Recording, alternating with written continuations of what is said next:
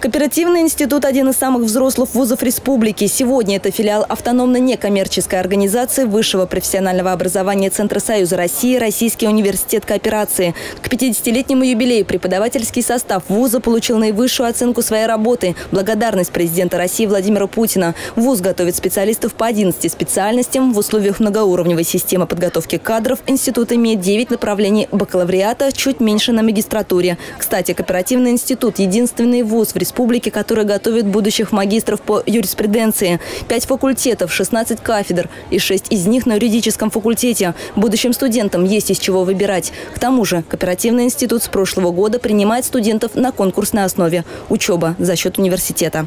Акция «Скооперируйся с друзьями и учись бесплатно». Мы призываем наших студентов участвовать в этих акциях. Они очень заинтересованы. Суть этой акции состоит в том, что друзья приглашают своих друзей на учебу к нам, если набирают там 100 баллов, и они претендуют на бесплатную учебу. Новая акция, которая стартовала в этом году «Примножаем семейные традиции». Если кто-то из членов семьи обучался в кооперативном институте, абитуриент имеет право на скидку 10%. Если же родственников два, то еще плюс 5%. Учить экономику и финансы можно уже при поступлении. Конкурсы и дополнительные акции, которые ввел ВУЗ – стимул к отличной учебе. Это подтверждают сами студенты института. Я прошла а, конкурс по акции, набрала больше 90 баллов по трем предметам и обучаюсь целый год за счет института. Помимо меня еще есть и другие студенты, которые прошли эту акцию. Они преуспели в спорте и в творчестве. Я учусь на юридическом факультете. Преподавание очень хорошее и высокое. Мне нравится.